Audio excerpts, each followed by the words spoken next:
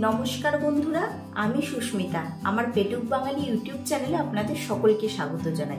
বন্ধুরা, বাংলায় এখন ভরা বর্ষা। আর এই বর্ষার মরশুমে ইলিশের কদর সবচেয়ে বেশি। তাই বলে কি ব্রাত্য থাকবে চিংড়ি? এপার বাংলা হন বা ওপার বাংলা, চিংড়ি ভালো করে রান্না করলে কে আর মুখ ফিরিয়ে রাখতে পারে বলুন? তাই ইলিশের মরশুমে কোনো একদিন পাতে পড়তেই পারে চিংড়ি। তবে চিংড়ির মালাইকারি বা পাতুরি হিসেবে নয়। নতুন কিছু রেসিপি ট্রাই করতে চাইলে আপনারা বানিয়ে ফেলতে পারেন সুস্বাদু চিংড়ির পোলাও। এই চিংড়ির পোলাও বানানো যতটা সহজ, খেতে ততটাই সুস্বাদু। তাই আর দেরি না করে চটপট দেখে নিন আজকের আমার রেসিপিটি আমার রেসিপিটি ভালো লেগে থাকলে আপনাদেরকে লাইক শেয়ার ও কমেন্ট করার অনুরোধ রইল। এটা আমার একটা রিকোয়েস্টেড রেসিপি আমি পোলাও রান্না করতে গোবিন্দভোগ চালই বেশি ব্যবহার করে থাকি, কারণ এর সুগন্ধ পোলাওকে আরও সুগন্ধযুক্ত সুস্বাদু করে তোলে। উপকরণ হিসাবে লাগছে গোবিন্দভোগ চাল তিন কাপ, চিংড়ি মাছ আড়াইশো গ্রাম, দুটো মিডিয়াম সাইজের পেঁয়াজের কুচি, টক দই দু টেবিল চামচ, আদা বাটা এক টেবিল চামচ, রসুন বাটা এক টেবিল চামচ অল্প ধনেপাতা কুচি, পেঁয়াজ বেরেস্তা দু টেবিল চামচ, নুন স্বাদ মতন হাফ টিস্পুন গরম মশলার গুঁড়ো, চেরা কাঁচা লঙ্কা পাঁচটা, কাজু বাদাম দশ থেকে বারোটা, গোটা গরম মশলা,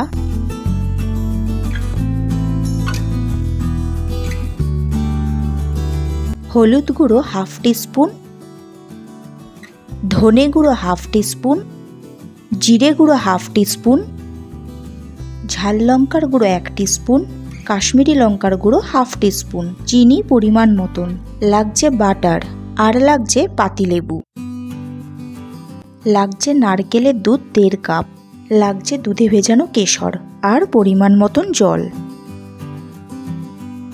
প্রথমে আমি চিংড়ি মাছটাকে কিছু মশলা দিয়ে ম্যারিনেট করে নেব। তার জন্য প্রথমে দিলাম রসুন বাটা ওয়ান ফোর্থ টিস্পুন।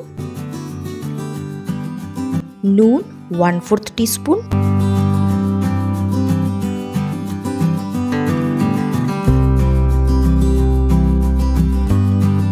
হলুদ গুঁড়ো ওয়ান ফোর্থ টিস্পুন। আর কাশ্মীরি লঙ্কার গুঁড়ো ওয়ান ফোর্থ টিস্পুন। এরপর আমি মাছটাকে ভালো করে মশলার সাথে মেখে নিয়ে আধ ঘণ্টার জন্য রেখে দেব।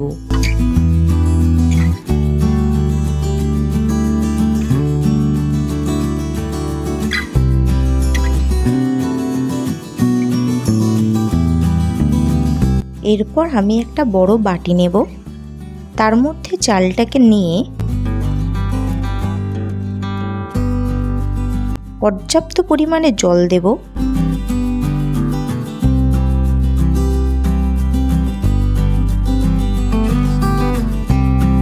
এরপর আমি চালটাকে ভালো করে ধুয়ে নেব। চালটাকে দু তিনবার জল পাল্টে পাল্টে ধুয়ে নিতে হবে।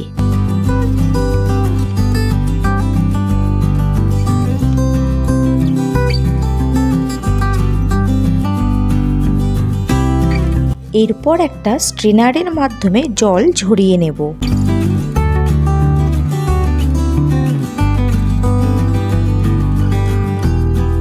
এরপর আমি হাতের সাহায্যে ভালোভাবে চালটাকে স্ট্রেনারের মধ্যে ছড়িয়ে দিয়ে কিছুক্ষণের জন্য রেখে দেব, যাতে চাল থেকে সম্পূর্ণ জল ঝরে যায় এবং চালটা ভালোভাবে শুকিয়ে যায়।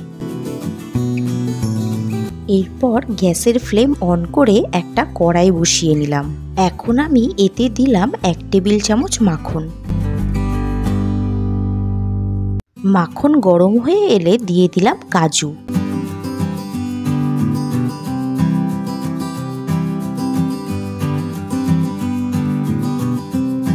কাজু এপিটোপিট সুন্দর করে ভেজে নিয়ে তুলে নিলাম। এখন কড়াইতে আরও কিছু পরিমাণ সাদা তেল দিলাম। তেল গরম হয়ে এলে আগে থেকে ম্যারিনেট করা চিংড়ি মাছগুলো দিয়ে দিলাম।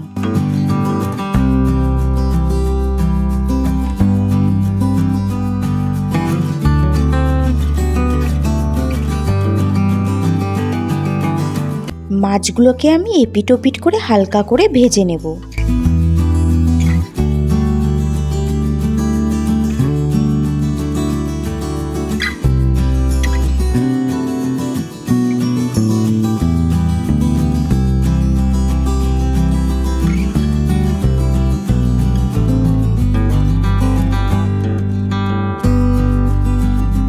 দেখুন বন্ধুরা, আমার মাছগুলো এপিটোপিট হালকা করে ভাজা হয়ে গেছে, এরপর আমি মাছগুলোকে তুলে নিলাম।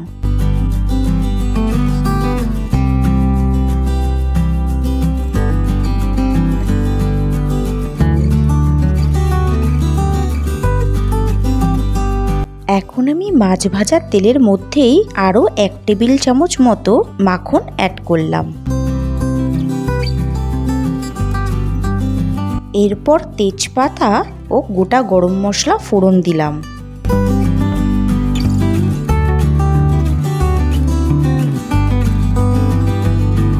এরপর দিলাম দুটো মিডিয়াম সাইজের পেঁয়াজের কুচি।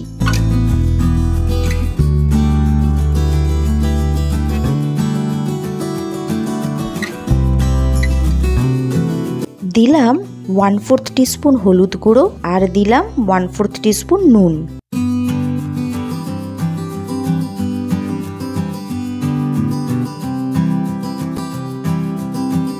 পেঁয়াজ ভাজা ভাজা হয়ে এলে দিয়ে দিলাম এক স্পুন আদা বাটা। এক স্পুন রসুন বাটা।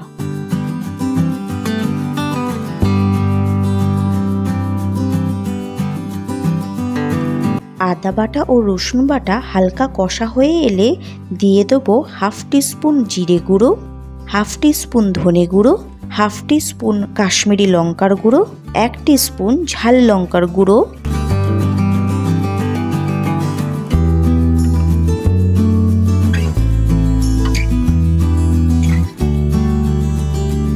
এরপর মশলাটাকে এক মিনিট মতো কষিয়ে নিয়ে দিয়ে দেবো কিছুটা পরিমাণ জল।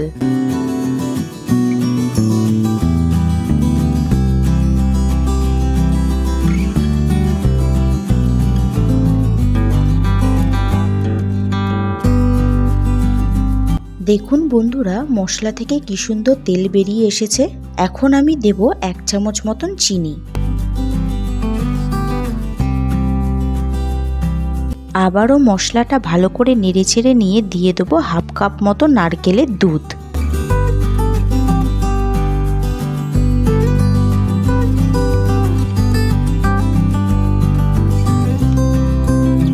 এখন দিচ্ছি দু টেবিল চামচ ফ্যাটানো টক দই।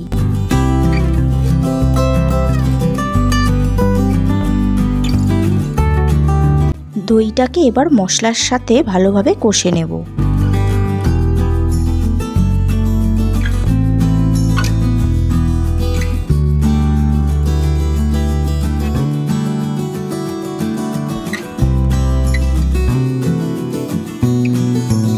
দিচ্ছি পাঁচটা চেরা কাঁচা লঙ্কা।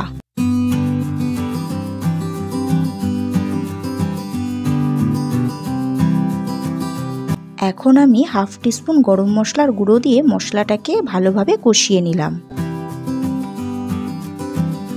মশলা থেকে তেল ছাড়তে শুরু করে দিয়েছে। এখন আমি আগে থেকে ধুয়ে জল ঝরিয়ে রাখা চালটা দিয়ে দিলাম। তারপর গ্যাসটাকে মিডিয়াম ফ্লেমে রেখে দু তিন মিনিট মতন সময় নিয়ে চালটাকে মশলার সাথে ভালো করে মিশিয়ে ভেজে নিতে হবে।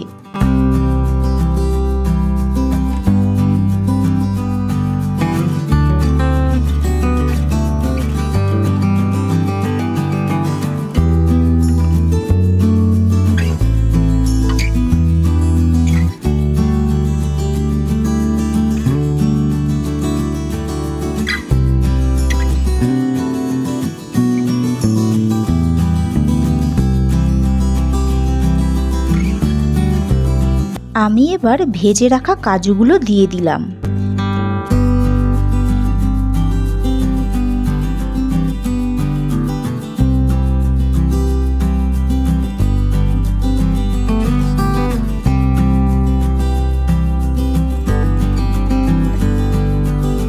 এই পর্যায়ে আমি ভেজে রাখা চিংড়ি মাছগুলো দিয়ে দিলাম।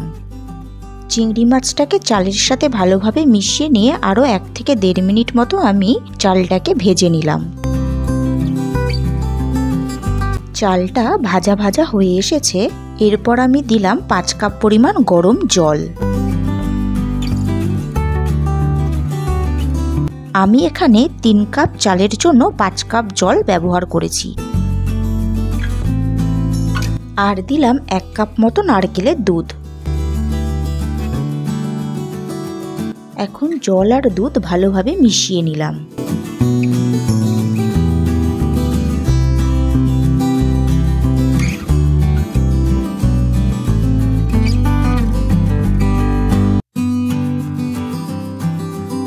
এরপর দিলাম হাফ পাতিলেবুর রস।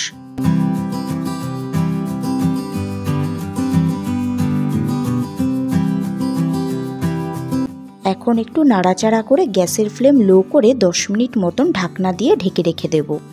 ফিরে এলাম দশ মিনিট বাদে। জল কমে এসেছে, তাই আমি ঢাকনাটা খুলে পোলাওটাকে ভালোভাবে নাড়াচাড়া করে নিলাম।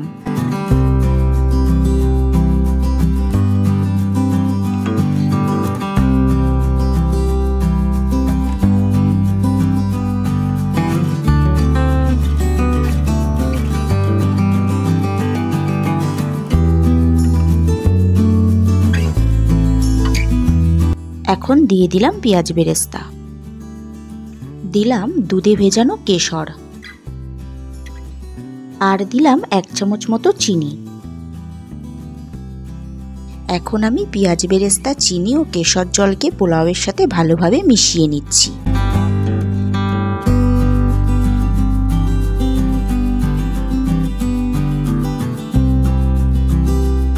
পোলাওতে এখন একটু জলজলে ভাব আছে, তাই আমি এই পর্যায়ে গ্যাসের ফ্লেমকে একেবারে লো করে মিনিট দশেক ঢাকনা দিয়ে রেখে দেব। দশ মিনিট বাদে ঢাকনা খুলে আমি এতে এক চামচ মতো ঘি ছড়িয়ে দিলাম।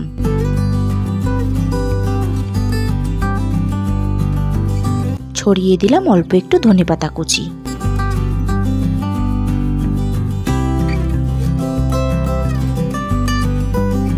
এবার আলতো হাতে একবার পোলাওটাকে ভালোভাবে নাড়াচাড়া করে নিলাম। পোলাওয়ের চালটা খুব সুন্দরভাবে সেদ্ধ হয়েছে এবং খুব সুন্দর একটা গন্ধও বেরোচ্ছে। দেখুন বন্ধুরা, পোলাওয়ের মধ্যেকার জলজলে ভাবটা চলে গেছে আর পোলাওটা একদম ঝরঝরে হয়ে গেছে। মনে রাখবেন বন্ধুরা, ঝরঝরে পোলাও রান্নার জন্য জল ও চালের অনুপাত কিন্তু সঠিক হওয়া প্রয়োজন। তবেই পোলাওয়ের স্বাদ হবে দ্বিগুণ। ব্যাস, তৈরি হয়ে গেছে একদম ঝরঝরে চিংড়ি পোলাও। এবার এটাকে গরম গরম পরিবেশন করার পালা।